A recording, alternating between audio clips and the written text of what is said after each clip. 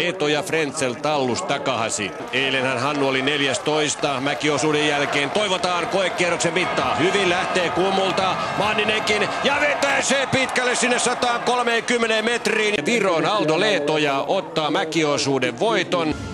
Numerolla 23 pitää tuota johtajan paikkaa loppuun asti. Mäkiosuuden voitto virolaiselle komeasti 137,5 metrin hypyllä, joten mutta nyt on uusi kilpailu.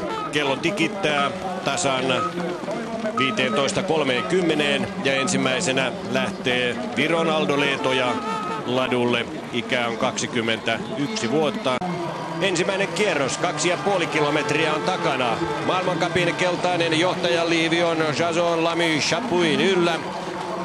Ja hän merkkauttaa väliajan tässä paikassa ja siellä tulee sitten yli puolen tusinan letka takana, jonka kärkeen on siirtynyt Hannu Manninen. Ja ensimmäinen kierros on vasta takana ja Manninen on jo siinä äh, vajaan puolen minuutin tuntumassa Lamy Chapuista. Eroa lähdettäessä oli 46 sekuntia ja nyt Hannu on ottanut tuota etumatkaa kiinni jo lähes 20 sekuntia.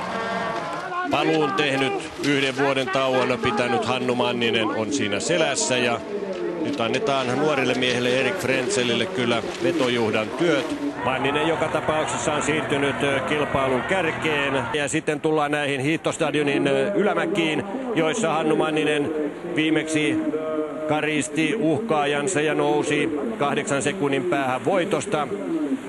Edelleenkin sanon, että Tino Edelman on kyllä hyvävoimaisen näköinen siinä perässä, eikä Peter Tandenkaan hiihtokuntua kannata aliarvioida. Nyt lähtee sitten Edelman sieltä sisäkautta, kun Hannu Manninen laskee hänet sinne menemään. Ja Edelman lähtee kyllä sellaista kyytiä. Nyt on Hannu Mannisellakin vaikea sitten vastata tuohon saksalaisen rytistykseen, mutta Hannu taistelee vielä kilpailun voitosta. Edelman on kyllä hiihtänyt erittäin taktisesti oikein tämän kilpailun. Ei ole käynyt kertaa kertaakaan johdossa ry- rymistelemässä siellä Hannu Mannisen edellä. Ja nyt Manninen polkee sitten kakkostilalla, kuten eilenkin. Eroa johtavaan urheilijan on tänään vain pari sekuntia. Edelman yrittää tehdä tässä ratkaisu, mutta Hannu tulee vielä perässä, katselee siitä olkansa yli, missä ovat Frenzel ja Tande.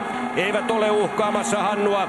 Edelman on tällä hetkellä selvästi menossa tämän kilpailun voittoon, mutta pystyykö Hannu vielä tämän kaarteen jälkeen sitten vaihtamaan vaihdetta? Kyllä pystyy, katsokaa.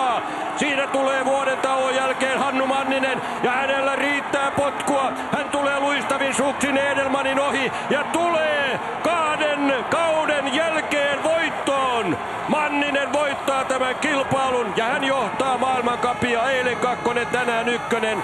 Ja Edelman saa todeta, että kyllä Mannisella riittää vielä potkua sitten loppumetreilläkin. Hänestä on päästävä näillä viimeisillä metreillä kyllä niin kauas, että pystyisi sitten lopullisesti voittoon kurottamaan. Hannu Manninen on urallaan saanut olympiavoittokin on tietysti jotain Olympic Parkista Salt Lakein talviolympialaista vuodelta 2002, jolloin Manninen otti joukkuekultaa yhdessä kavereittensa kanssa.